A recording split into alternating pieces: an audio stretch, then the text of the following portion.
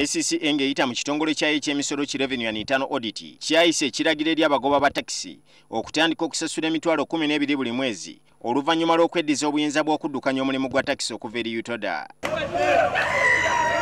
omulamuzi benjamin kabiita asinzidde mu nsala ye n'ategeeza ng'ekitongole kino bwe kitayita mu mateeka mu kukanya ku nsimbi ze baali balina okusoloza ku bantu bano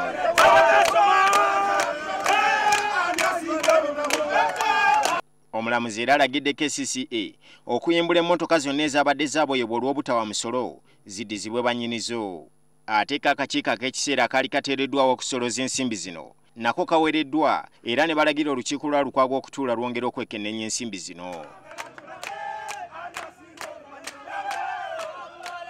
babagoba ba takisi oluwulidde nti omusango guno baguwuuse buva.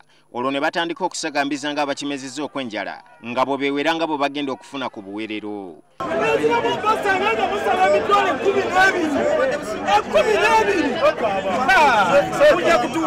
twagala kesisi kujja wansi kutusumbula yadde omulundi n'ogu ebikolobolo byetukoze biwera nga bakulemberwamu ssentebe waabwe mayambala batambudde okuva ku kooti okutuuka mu bifo gye basimba emmotoka zaabwe nga bwe bayimba obuyimba obusuusuuta mayambala nga bw'abanunudde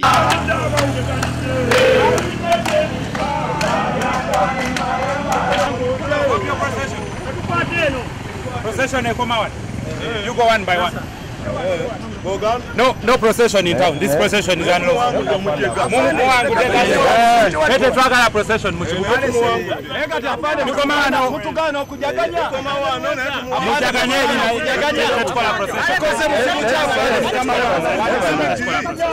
kyokka ate ekyewuunyisa nti abamu amawulire gano agandibadde gabasanyusa ate bagaana okudde kwecwacwana nga bwe balangira ne mayambala okubatabangulira emirembe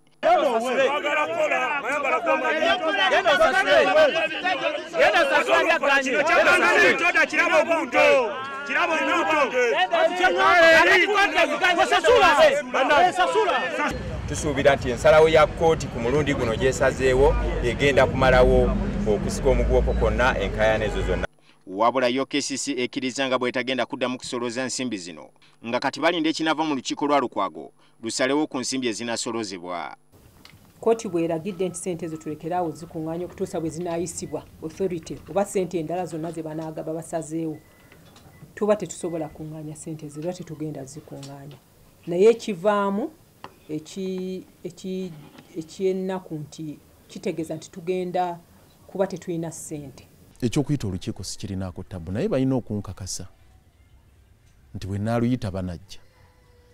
Balina okunkakasa nti bajja kuwa olukiiko luno ekitiibwa.